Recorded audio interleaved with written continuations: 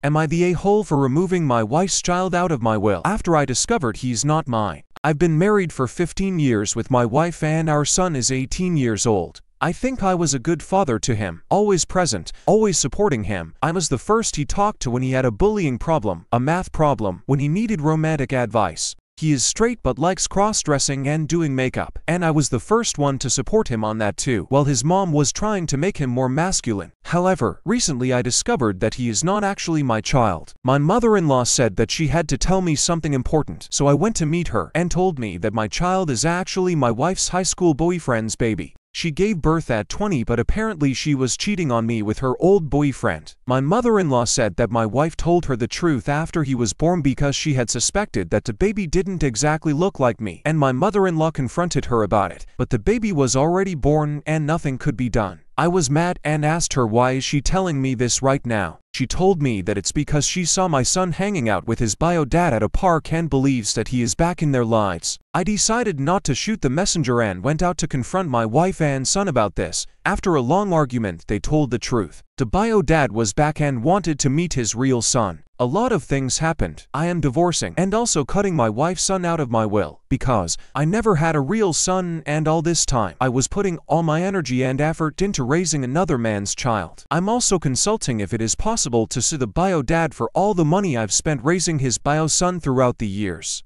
My wife is obviously mad at me, but my stepson is just devastated. I can see him depressed, not talking to me, and constantly apologizing. My plan was to divorce and cut contact with them right after that, but now I'm wondering if I'm going too far by punishing him too. Am I the a-hole for doing this? Edit. Everybody's asking about this. The kid knew about his bio dad for about for months before I discovered it. And yes, we did a DNA test. He insisted on a lot of it, and after it came back negative, I think is when his depression really hit. Y'all right, maybe it is useless to sue the biodad, but I'll ask a lawyer anyway. Here are the top comments, plus OP's reply. Pretty convenient for Biodad to come into the picture when his financial duties would be over. OP replied, Yes, I'm sure it was no accident. You and the child are both innocent and both victims. An 18 year long deception takes time for you both to process and contemplate. Divorcing your wife for deceiving you for so long does not take much time to assess. But you and your son are still exactly that